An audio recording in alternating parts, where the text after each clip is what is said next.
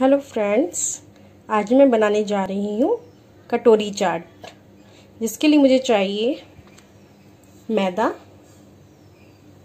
एक चम्मच अजवाइन, नमक स्वाद अनुसार, दो चमचे रिफाइंड ऑयल मोमन के लिए मुझे, और पानी मारने के लिए। आप गुनगुना पानी भी यूज़ कर सकते हैं। चलिए, आटा मारना मैं शुरू करती हूँ।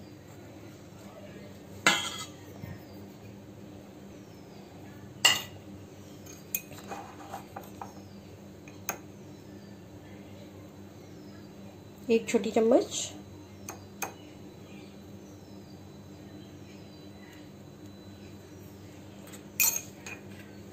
ये अजवाइन है, एक चम्मच। बीच में हम गड्ढा बना लेंगे रिफाइंड के लिए।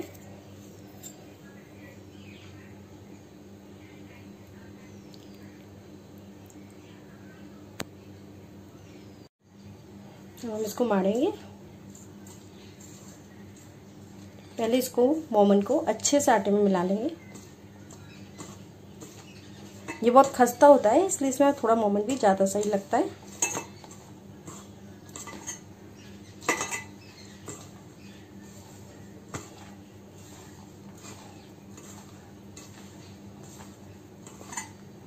ये देखिए।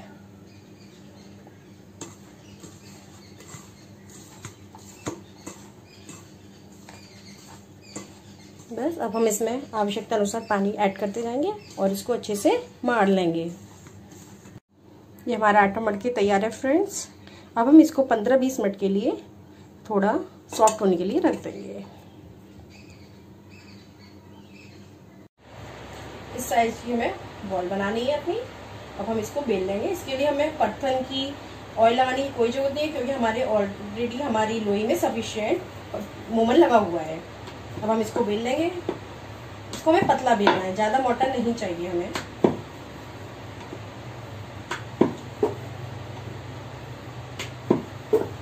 ये देखिए कितना आराम से बेल पा रही हूँ मैं।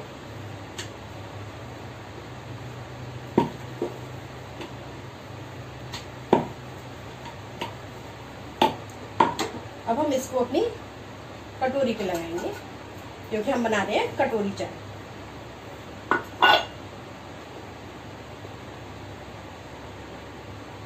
तरीके से हम इसको कर देंगे। ये मैंने ऑलरेडी ऑयल अपना गर्म किया हुआ है। हमें बहुत ज़्यादा हाई फ्लेम पे नहीं रखना है। हल्का ऑयल गर्म है। बहुत ज़्यादा तेज गर्म ऑयल होगा तो हमारी बहुत जल्दी सिक जाएगी और अंदर थोड़ी सी कच्ची रह सकती है। ये देखिए।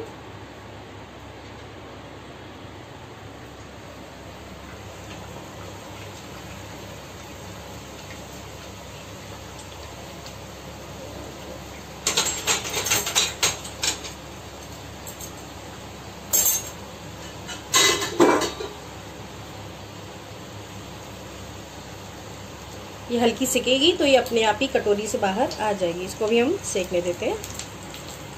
तब तक हम अपनी दूसरी कटोरी चाट के लिए तैयारी करते हैं। मैंने पहले से ही एक बेल ली थी।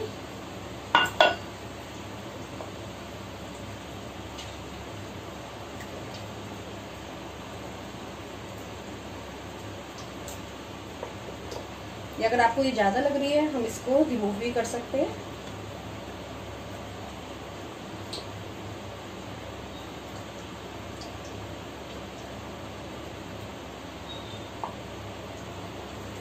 इसको भी हम, इसके साथ डाल देंगे।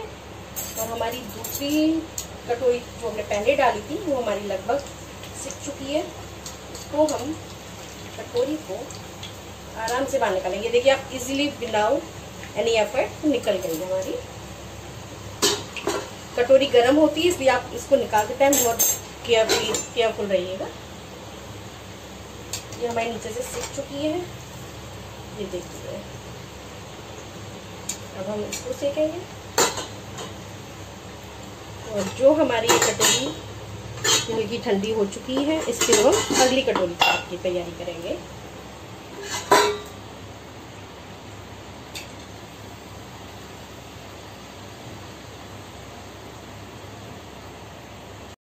ये हमारी कटोरी चाट सीख चुकी है और हम इसको निकाल लेंगे। अब हम अपनी कटोरी चाट को तैयार करेंगे। ये हमारी कटोरी। इसमें ये मैंने छोले कुछ बॉईल करके रखे हुए हैं। आप छोले, रमास या स्प्राउट्स कुछ भी यूज़ कर सकते हैं। इसके बाद इसमें मैं डालूँगी दही।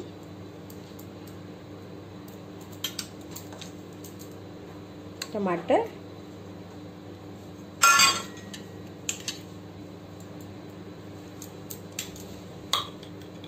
थोड़ी सी हरी चटनी।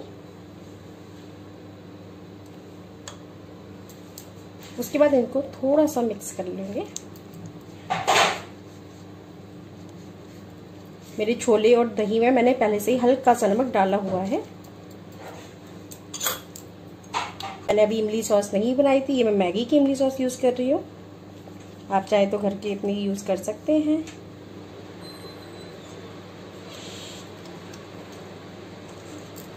और उसके बाद थोड़ी सी नमकीन।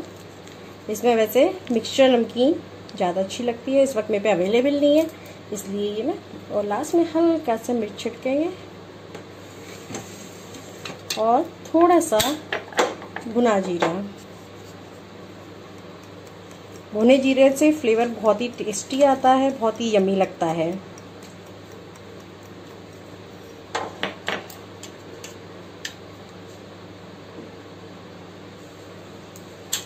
ये हमारी कटोरी चाट तैयार है। Thanks for watching